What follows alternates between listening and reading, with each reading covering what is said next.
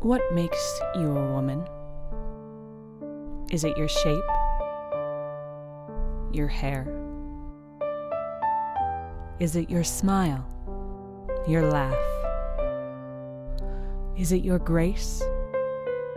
Your warmth? What if your doctor gives you the news? What if you lose your shape and your hair? Nothing seems funny anymore?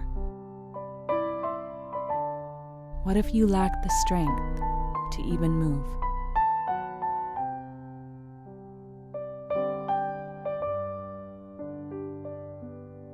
You stand on the shoulders of the generations before you, and you forge ahead.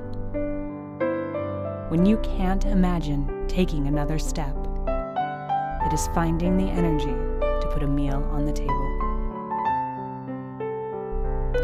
When all you want to do is cry,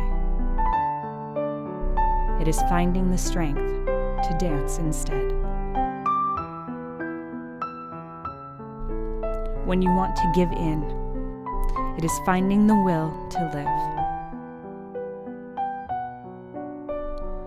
When you are uncertain about the future, it is finding the hope to believe it is possible.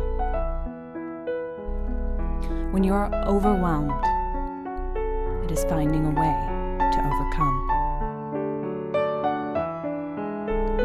When you are scared, it is finding the courage within, not just for yourself,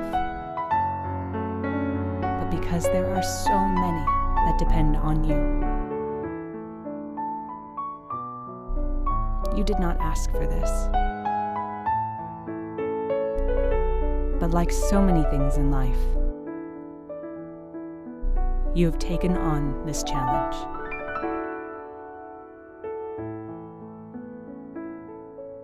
You are not alone.